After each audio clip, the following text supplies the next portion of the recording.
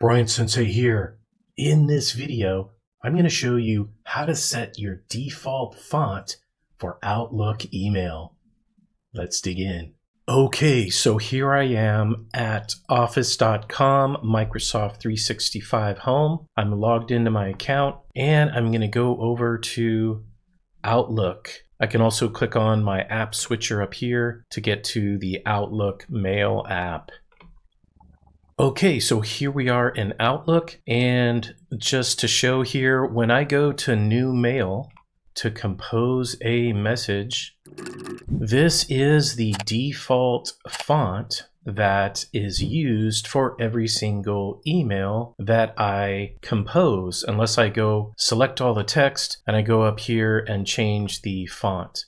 Now, what if you want a different default font type? Well, all you have to do, and this works in the new desktop Outlook app as well. All you have to do is go up here to the settings icon, the gear at the top right, and you're going to click on mail at the left if it's not already selected and click compose and reply.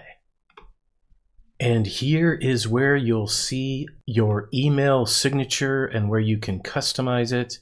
Further down below that, we're going to see message format. Okay, in here, you're going to see where you can set the default font right here and the default font size. You have a variety of font selections to choose from. Once you find something you like, go ahead and select it. Down below, you're going to see a preview of how this will look. And you can also, of course, look at the font size if you'd like to go larger or smaller. And you could even make it bold, italic, etc. If you would like that, you can also set the default color. All right, once you've made all of those selections, just come down to the bottom and click Save. Okay, so now when we close out of this and we start a new email, you can see that the default font has changed to my new selection.